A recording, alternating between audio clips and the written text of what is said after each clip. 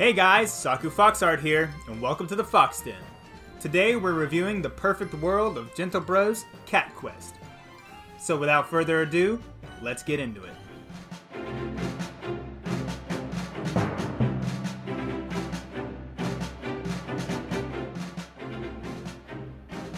Cat Quest is an open world beat 'em up RPG set in the possum world of cats.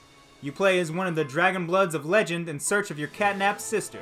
You'll pounce into the massive continent of Felingard, a world crafted in the style of overworld gaming maps of yore, filled to the brim with cat-tastic characters, stories, and puns.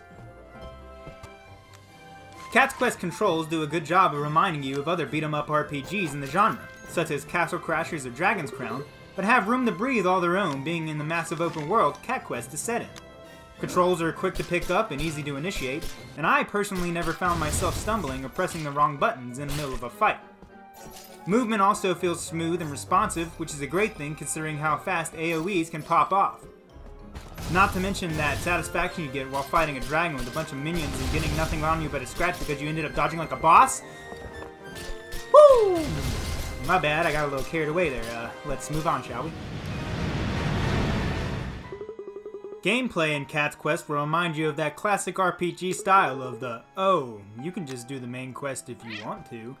But we all know that you don't fall for that trap. Everyone knows you should do a side quest, get you a little bit of a grind on, and get strong enough to take on certain main quest tasks.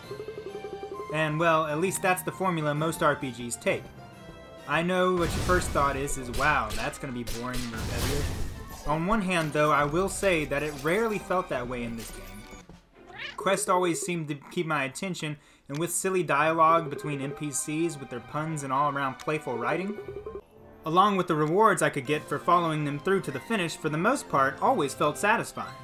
Dungeons are a big part of this game. You'll find yourself going from caves to ruins, wanting to take them on and clear out monsters just to snag what chests you can. But on that same note, there are golden chests in some of these dungeons that you can't get into until later, which can feel annoying, but is extremely satisfying when you finally get to open them. Equipment you wear levels up when you get duplicates from chests or quests, which is purely by chance.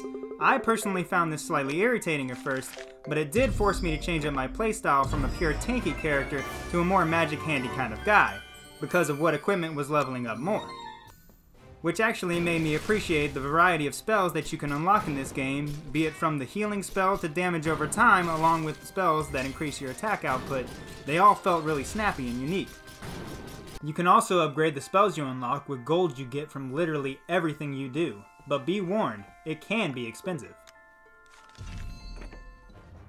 The world of Felingard is, a lack of a better word, frickin' huge, and unlocking access to all of it is half the fun. Be it walking on water or flying, the cartoonishly crafted world and characters do a great job of keeping you pretty entertained, and the soundtrack only adds to the enjoyable experience. The Gentlebros did a great job at making this world feel lived in and full. All in all, I was actually pretty impressed by this title. Controls were tight, gameplay was solid, and the story and side quests weren't half bad either. You get over the upgrading your equipment by chance rather fast, and rarely do you have that what do I do from here moment that can sometimes plague games in this genre. With 8 to 10 hours worth of gameplay to collect all the items and finish all the quests, and then adding more hours starting up a Mew Game Plus for additional special items and challenges, the $13 price tag is in my opinion small potatoes compared to the amount of content you get. And with the Cat Quest 2 on its way this year adding co-op, now is definitely the time to get your paws on this title. Thanks for your support guys and for watching my reviews. I really enjoy bringing these videos to you guys and I really just love creating keeping you all informed so you can best decide if a game's for you, it's really awesome. And I mean, it's your money, guys, and if these videos help you not to waste it or help you to feel confident in that purchase, that that's what it's all about. So if you guys enjoy my videos, don't be afraid to subscribe, hit that bell icon, and click the like button so you can stay up to date with all my new releases. I want to thank you all again, and I'll see you on the next one.